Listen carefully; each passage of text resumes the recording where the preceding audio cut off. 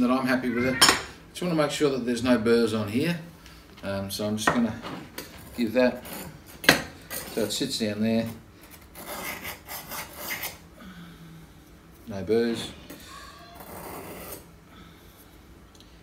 Because that's the contact part, it sits on top of you.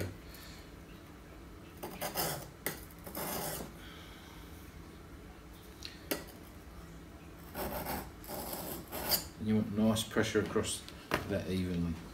Righto. Now I've got a bath of degreaser here. So I'm just going to take all that oil and crap off. It's just water soluble degreaser. I use it in my uh, degreasing bath for bits and pieces. And all this, all these tools that I got from the flea market were pretty, pretty horrible. Uh, covered in crap, covered in grease and oil and, and horrible stuff. So I don't want to add to that. Righto, so I'm going to set my set my blades together. I'm not even sure what this is called, but what it does do is it uh, you set it about a sixteenth of an inch away from the cutting edge, and uh, flip it over, of course.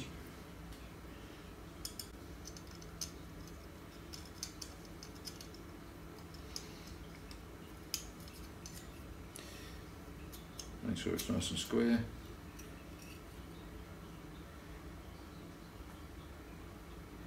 I think I told you in a previous episode that I was putting these in backwards at the start.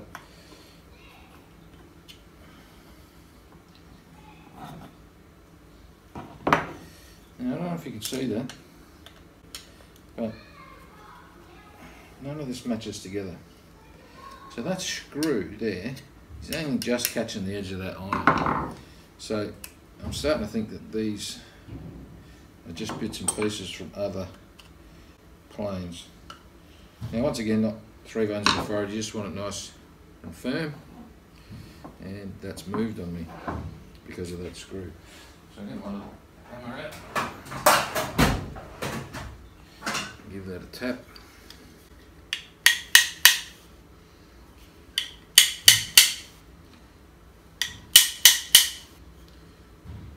So you can see that mismatch there. So, what I'm thinking is this is the wrong screw for this iron or it's an aftermarket iron. So I'm not sure what I'm going to do there, whether I can put a washer on that. I don't think it'll fit back in if I put a washer on it. So I'll just be very careful to nip it up.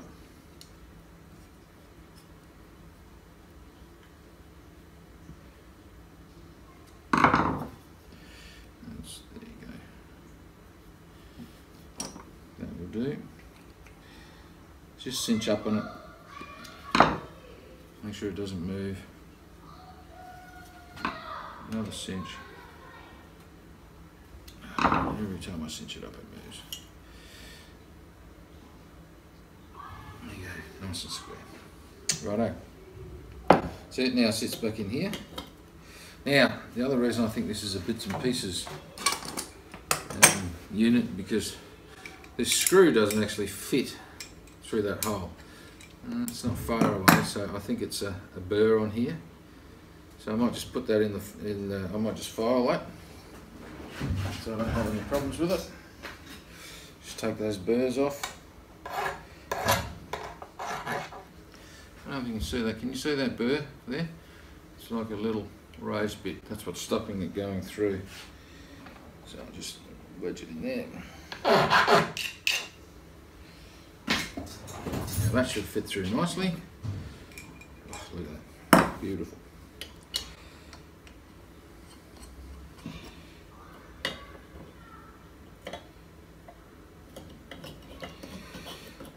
Looks like it only fits through in one spot. So that's got to go through there like so. A bit more fitting to do here, I think.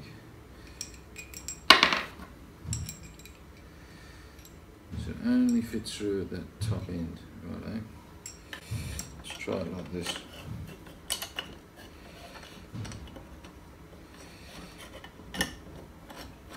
Now I could have gone out and just bought a brand new plane.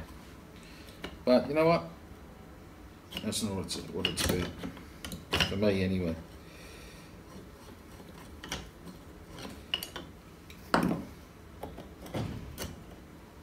See that little thing there? Adjusts the angle, and then you've got your, your dial adjustment, your depth gauge here. So make sure that's seated properly and it's in.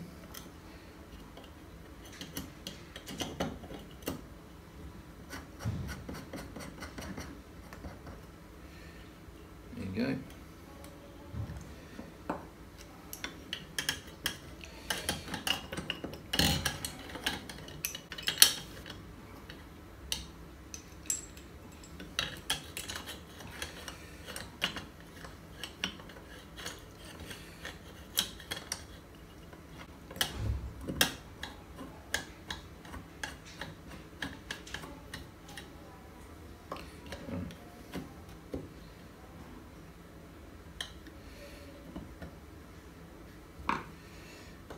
Give that, so what I've found with these things, and I really should go onto YouTube and check out how to do this, but I'm trying to fumble through. So well, that's, that's not bad pressure there.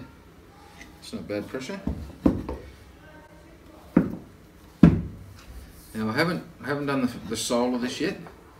Let's just see how it cuts. So we've got no blade at all hanging out of there.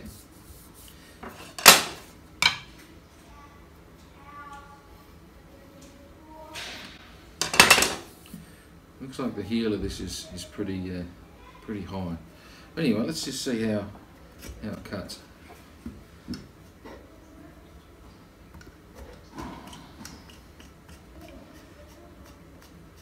For drawing the blade. It's very difficult, so what I'm going to do is just take that back a bit, maybe an eighth of a turn, a quarter. Yeah, still a bit stiff. Nice. Now let's see if she uh, moves a bit better. I'm still making friends with these planes and I. Right, let's have a look now. So I'll get myself a piece of timber. Just a piece of old scrap. And so this is a bit of uh, pine. And I know you're saying, oh, you haven't any timber in your in your little vise, but you're right, I haven't. Let's see how we go.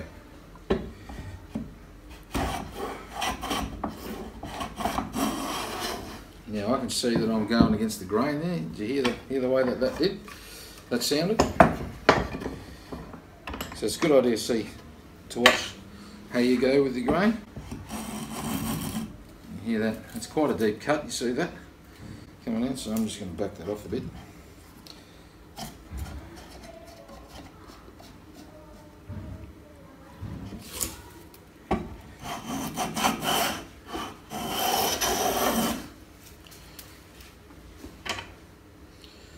open pocket cord on there, just back it off a bit more. See, there we go. That's not a bad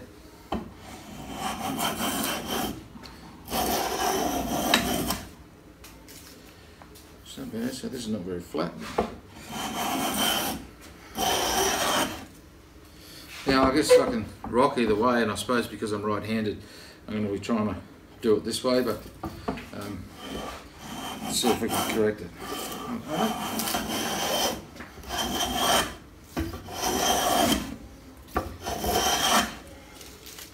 We're almost getting full sides. But let's study it now.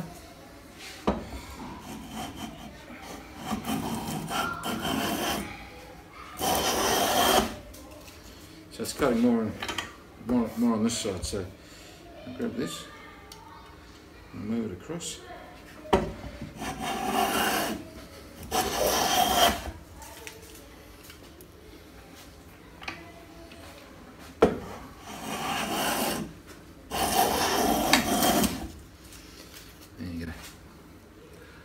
Not bad. Not bad. I'm pretty happy with that for a novice. Here's the one I prepared last night.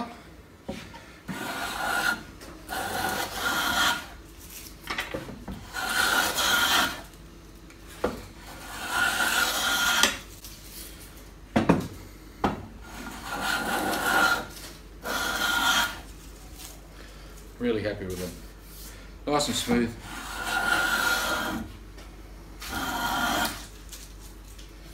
Getting it down. And you know what, it's quite, quite quick.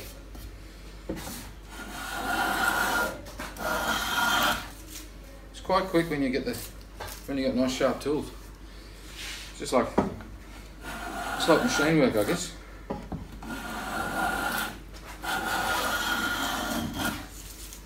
Can't cut metal with blunt tools. Can't cut wood with blunt tools.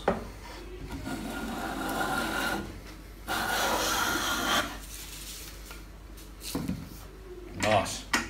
Let's just turn this over. That rough rough edge there. I'm pretty excited. This is really good. Here's one we just we just did up.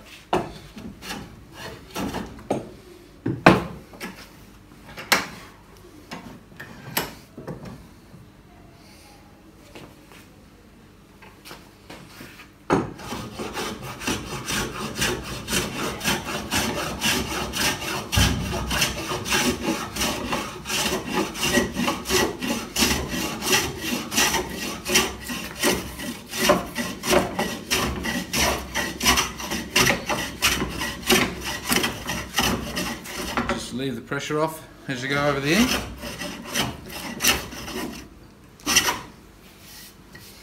Chunking.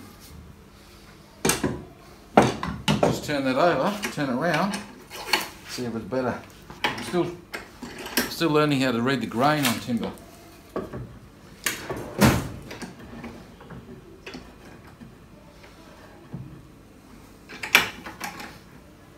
And you know what? It changes. Always makes me happy. Sounds better.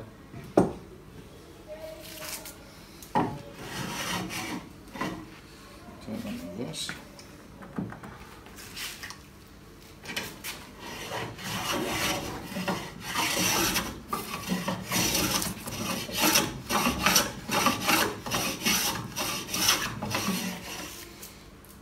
Not bad. Let's try this one. Through that bit there.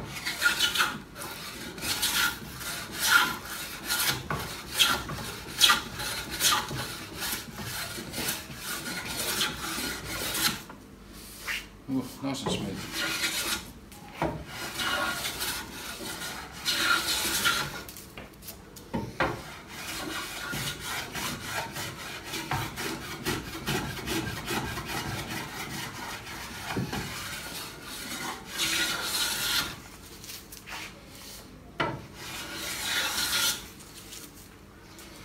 So let's see how we went.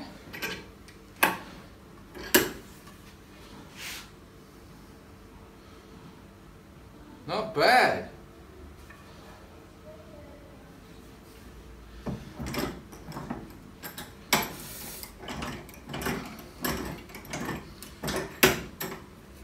Now, because I'm a novice, I'm probably pushing too hard because I'm uh, leaking.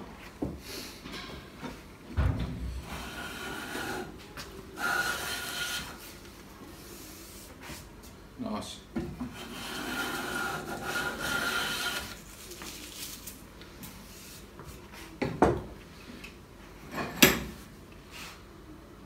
That's pretty good. Let's check it for square.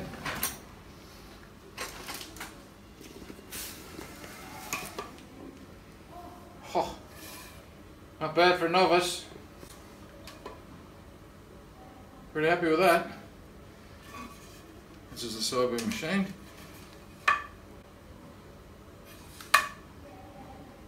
Oh yeah. Not bad. Thumbs up. Loving that. So there you have it. How to get a plane to cut by a machinist who's a novice. That's enough for this episode. You've been on the bench with Max. See you next time.